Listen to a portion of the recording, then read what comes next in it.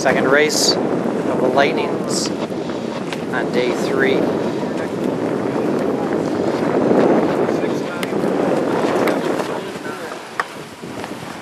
Right down